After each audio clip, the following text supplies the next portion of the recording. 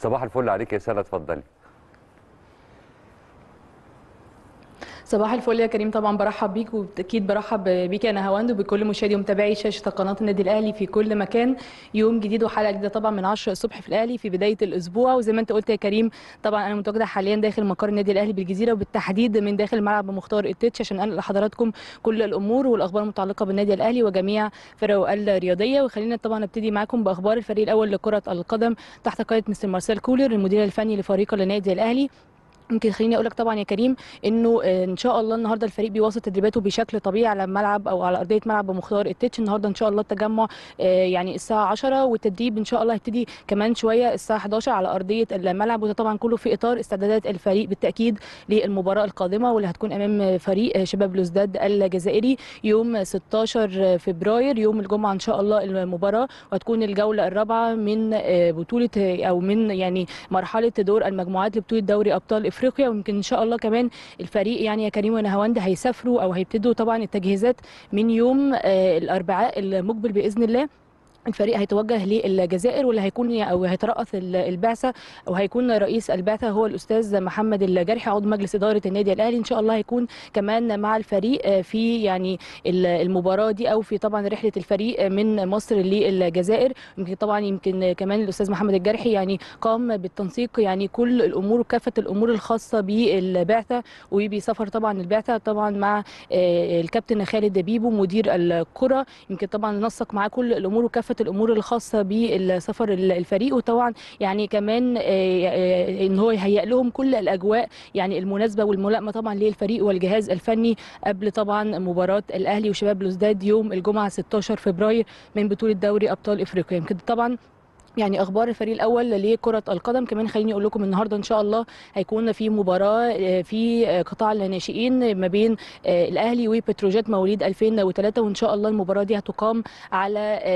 ملاعب الكرة في مدينة نصر فرع النادي الأهلي بمدينة نصر. إن شاء الله المباراة هتكون في تمام الساعة الثانية ونصف مساء أو الثانية ونصف عفوا بعد الظهر. دي هتكون المباراة بالنسبة ل 2003 الأهلي وبتروجيت وإن شاء الله يعني هتكون بشكل حصري مصري هتتم إذاعتها عبر شاشة قناة النادي الأهلي باستوديو تحليلي قبل كمان المباراة. يمكن ده بالنسبة لفريق كرة القدم وطبعا قطاع الناشئين خليني بقى أروح يعني طبعا لجميع الألعاب الأخرى وأبتدي معاكم بأخبار الفريق الأول لكرة اليد رجال. تحت قياده مستر ديفيد ديفيز المدير الفني الأسباني لفريق النادي الأهلي. يمكن يمكن من يومين طبعا يا كريم ونهاوند يوم الجمعة الماضية كان في مباراة بين النادي الأهلي وسموحة مباراة قوية جدا جمعت ما بين الفريقين على صالة الامير عبد الله الفيصل داخل مقر النادي ولكن انتهت بفوز النادي الأهلي بفارق خمس أهداف 26 21 لصالح النادي الأهلي. مباراة كانت قوية شهدت يعني تألق العديد من اللعيبة زي عمر خالد كاستيلو وكمان يعني باقي اللاعبين. يمكن عمر خالد كاستيلو طبعا من اللعيبة يعني سجلوا العديد من الأهداف في المباراة مباراة سموحة وكمان يعني بدون راحة الفريق النهارده هيواصل تدريباته بشكل طبيعي. التدريب هيكون الساعة 4 ويوم الثلاث إن شاء الله. النادي الأهلي عنده مباراة مهمة الجولة الرابعة من بطولة الدوري العام أو الدوري العمومي لكرة اليد. هتكون أمام نادي الجيش ودي هتكون مباراة يوم الثلاث إن شاء الله. وهتقام في تمام الساعة الرابعة عصرا ودي هتكون على صالة الخاصة بنادي طلائع الجيش. كمان خليني أقول لكم إنه بالنسبة لسيدات كرة اليد يمكن حاليا طبعا هم في راحة من المباريات وإن شاء الله بالنسبة للمباريات هترجع تاني وهيرجعوا تاني للمواجهات والمباريات يوم 20 من شهر فبراير. إن شاء الله يعني جميع المباريات دي هتكون في الدور الثاني من بطولة الدوري لكن هم حاليا في فترة توقف دولي. يمكن طبعا بيبقى في معسكر دولي بالنسبة للاعبات كرة اليد. كل يعني خميس وجمعة وسبت بيكون في تجمع ومعسكر مفتوح بالنسبة للاعبين ولكن بقية الأسبوع بيكون التدريب مع فريق النادي الأهلي ولكن إن شاء الله المباريات بالنسبة لي في بطولة الدوري والنادي الأهلي هترجع يوم 20 من شهر فبراير الحالي. كمان خليني أقول لكم إن امبارح كانت في مباراة طبعا يعني كلنا شفناها على شاشة قناة النادي الأهلي مباراة ما بين الأهلي وسبورتنج في الكرة الطايرة. طبعا رجال كرة الطايرة امبارح كان عندهم مباراة قوية مع نادي سبورتنج وانتهت لصالح النادي الأهلي بثلاث أشواط مقابل شوط واحد لسبورتنج.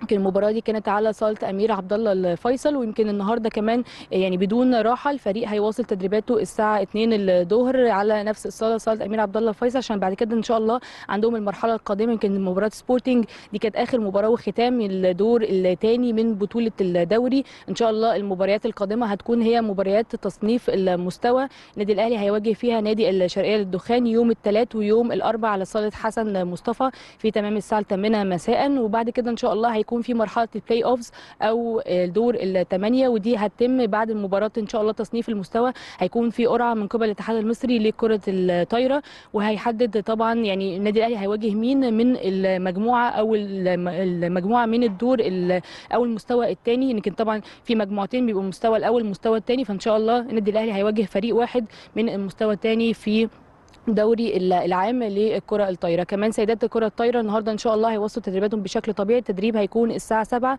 عشان عندهم أيضا يعني مباريتين مهمين في بطولة الدوري وهيقاموا على نفس الصالة صالة أو مجمع صالات لدكتور حسن مصطفى في مدينة السادس من أكتوبر. المباريتين هيكونوا يوم الجمعة والسبت أمام نادي الزهور وهيقاموا أيضا في نفس الموعد زي كرة كرة الطايرة بالنسبة لرجال كرة الطايرة. نفس الموعد الساعة 8 مع النادي الزهور ودي هتكون مرحلة دور الثمانيه ال play-offs طبعا النادي الاهلي مطالب منه إن هو يفوز في مباراتين من أصل ثلاث مباريات للضمان التأهل لطبعا الدور اللي بعديه في بطولة الدوري العام للكره الطايرة. وطبعا يعني استكمالا لجميع أخبارنا أخيرا كرة السلة في النادي الأهلي. طبعا بالنسبة لرجال كرة السلة زي ما إحنا عارفين بالتأكيد حاليا هم في توقف دولي.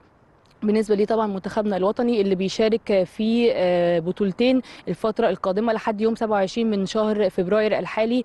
يمكن طبعا منتخبنا الوطني في قطر هيشارك في بطولة دولية ودية بالنسبة لي كرة السلة وكمان عنده تصفيات في بطولة أفريقيا أو ال AfroBasket.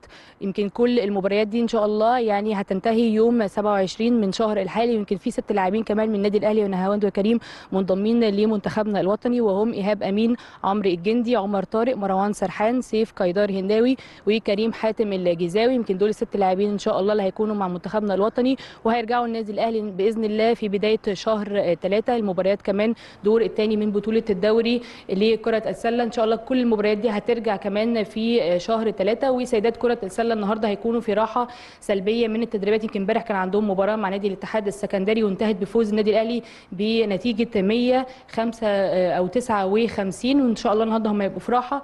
ويوم عندهم مباراة مهمة مع سموحة هتقام هنا الساعة 6 على صالة الشهداء داخل مقر النادي. يمكن دي كانت يا كريم ونهان طبعا كل الأخبار المتعلقه بجميع الفرق الرياضية داخل النادي الأهلي طبعا الفريق الأول لكرة القدم.